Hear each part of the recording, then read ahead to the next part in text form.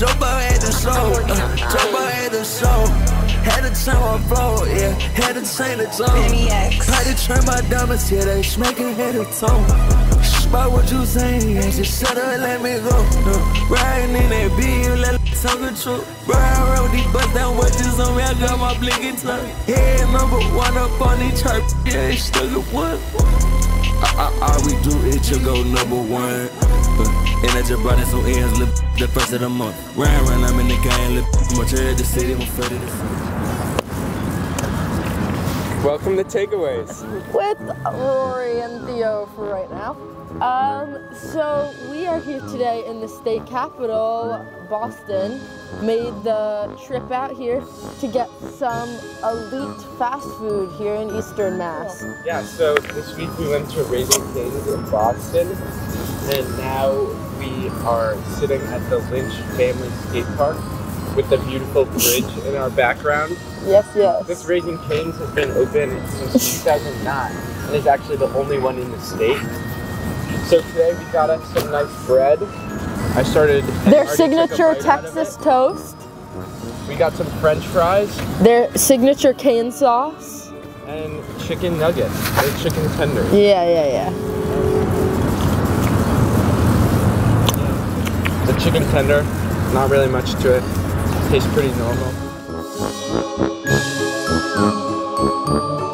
That's a 10.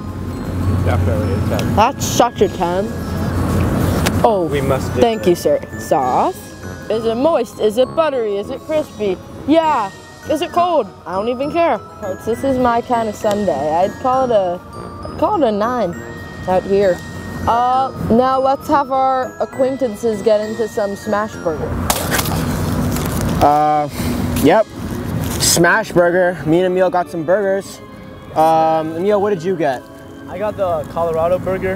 It has some, you know, cheese and a smashed burger in it. Classic. Um, I got the avocado burger um, with bacon. So it's like it has a healthy component. It's kind of like a salad. Um, and it's very messy as you can see, but it looks absolutely delicious. So Emil, what do you say we just we just dig in? Dig into that. All right, cheers.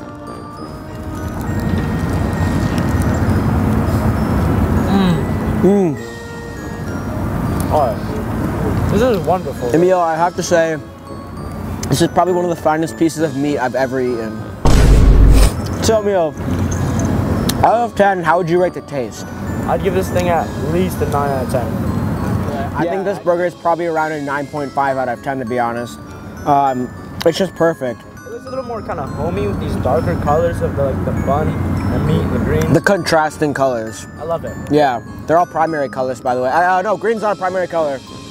Secondary. But um, 9 out of 10 at least for the appearance. 10. I'd probably give the setting like an eight and a half. I mean, it's raining, so it's like, eh, but it's Boston. It's right up on the bridge. You have the bridge in the background. Like, it's perfect, almost perfect. With the bridge in the back. Bridge in the back. Eight and a half out of ten for setting.